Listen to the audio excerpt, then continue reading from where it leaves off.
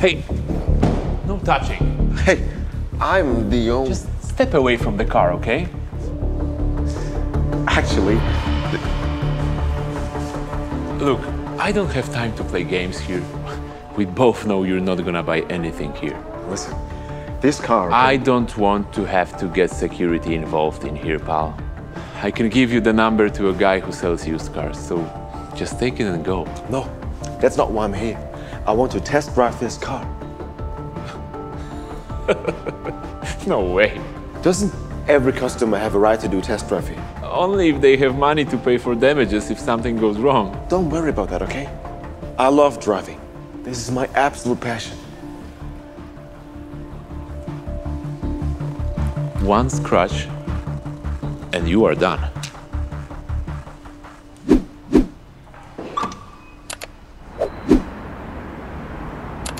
Where are we? Let's go back. The test drive is over. Wait, I haven't checked everything yet. How big is the glove box? What's the difference to you? Let's go back to the dealership. I want to know if all my stuff will fit in there. Whoa, whoa, whoa. Why so surprised? Don't you recognize me? Uh, I'm sorry, can we just go back to the dealership, please? Give me your phone and get out of the car. Oh, please. Let, us not overreact. If we go back. Dude! Ah. Just get out of my car! Don't you understand? The car's mine now. I give you three seconds.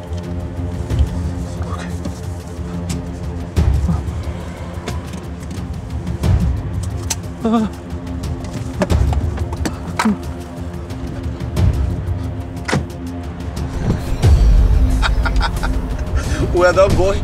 Your intuition was dead about me. Take care.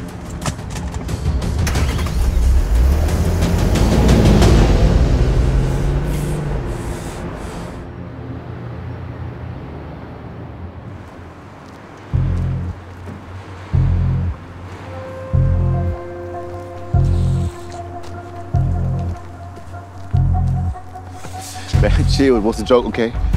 Your jokes will be hilarious in prison. I'm calling the cops. And what will you tell them? Dude, just think next time, okay? Don't judge a book by its cover. Wait, wait. So that's why you did it. Were you offended by the way I talked to you? And you really think you're gonna get away with this? How about we just shake hands and start our Quantas all over again? How does it sound? Okay.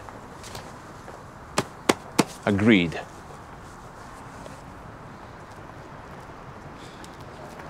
But we have a problem here. Because you seriously uh, uh, damaged the car during the test drive. Are you completely So you are!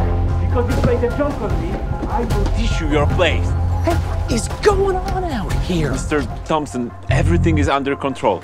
So this thief, he looked suspiciously at the car, and then he asked for the test drive. I tried to save the car, but he stole it and smashed it. Call the police. Alan, are you crazy? This is Mr. Walker. This is his car. He bought it yesterday. He came in, he signed the paperwork. We agreed he'd pick her up today. What did I do?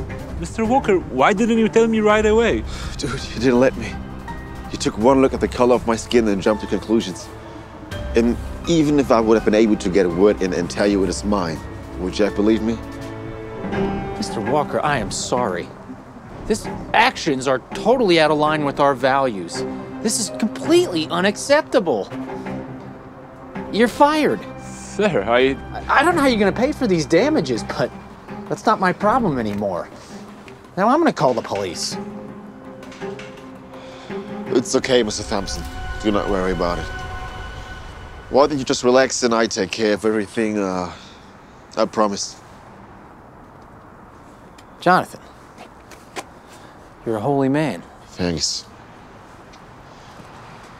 Can you drive? Yeah. Great. Get yourself together. You look terrible. I hate driving, and you and I have some urgent business. But why, why are you doing this? You can do whatever you want to me at this point. See, there's no satisfaction in revenge, okay? You let your hatred cloud your judgment, almost lost your job, and left yourself with nothing. Eventually, you will blame me for this. But your hatred will grow and grow, and just remember, hatred always breeds more hatred, okay? That's why I do it differently.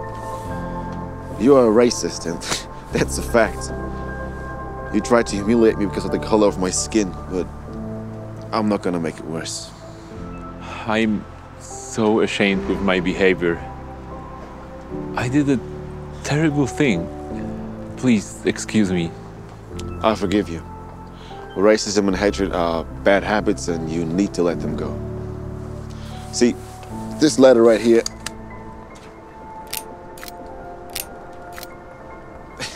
This is the only thing left from a bad habit. Now, let's get this baby fixed and go to the body shop. Okay.